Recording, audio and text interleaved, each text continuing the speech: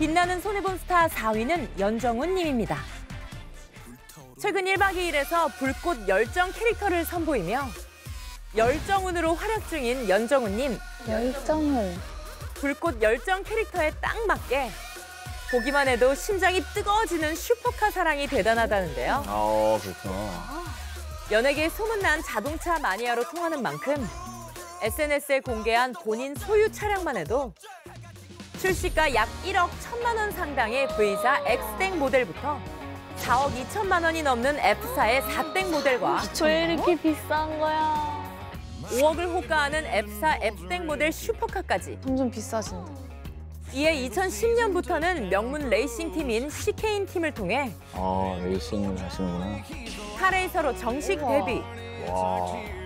실제 레이스에도 참여하며 꾸준히 활약하기도 했는데요. 멋있다. 이런 연정훈님의 남다른 차 사랑을 악용한 사건이 있었다고 합니다. 세상에 나쁜 사람은 많아. 불안하네요. 차면 센데. 때는 2007년 자동차 리스 업체와 P사 자동차 구땡 모델에 대한 리스 계약을 체결한 연정훈님. 계약 내용은 월 리스료 약 492만 원을 60개월간 리스하는 조건이었는데요. 여기까지 문제 없어 보이는데. 그로부터 2년 후인 2009년 4월 한 수리업체에 이 차량을 맡기게 된 연정훈님. 그런데 차가 사라졌다. 에? 어디로요? 정비소에서 차를 도난당한 건데요. 도난을 당한 후에도 리스비를 계속 뭐야? 납부한 연정훈님은 이제 리스비 내야지. 어우 속 쓰려. 2010년 12월까지 약속한 리스비를 완납해 그 금액만 해도 무려 약 2억 9,500만 원. 세상에. 차도 없는데 돈만 낸 거야. 아우 열받아.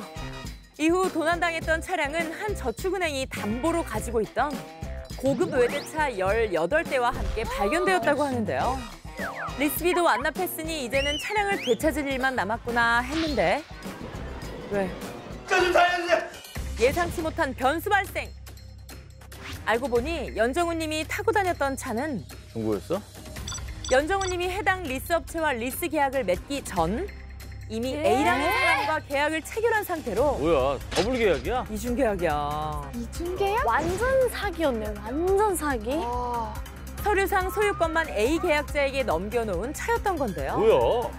심지어 리스 업체가 연정훈 님을 상대로 자동차 소유권 확인 소송을 제기하기도 했죠. 에? 뭐야? 이게 무슨 일이죠? 이후 알고 보니 연정훈 님이 계약을 체결하던 당시 수입 신고 필증의 원본과 사본의 대조 작업을 하지 않은 연정훈 님의 과실이 인정돼 Oh my God. 재판부는 연정훈 님의 편이 아닌 원고 리스 업체의 손을 들어주는 야, 안타까운 결말을 맺게 되었다고 하는데요. 결국 완납한 2억 9,500만 원은 물론 차도 돌려받지 못하고 사건 종료. 차도 없이 3억 가까운 돈을 냈네. 아, 아깝다. 이런 억울한 사건을 겪고도 밝은 모습을 잃지 않고 매주 시청자들에게 뜨거운 열정을 보여주고 있는 연정훈님. 과거에 나쁜 일은 있고 앞으로 불꽃 열정 연정훈님의 안날에 좋은 불꽃만 피어나길 바랍니다. 웬일입니까? 열심히 준비해서 보도록 하겠습니다. 빛나는 손해본 스타 4위는 자동차 리스 사기로 약 2억 9,500만 원의 손해를 본 연정훈 님이었습니다.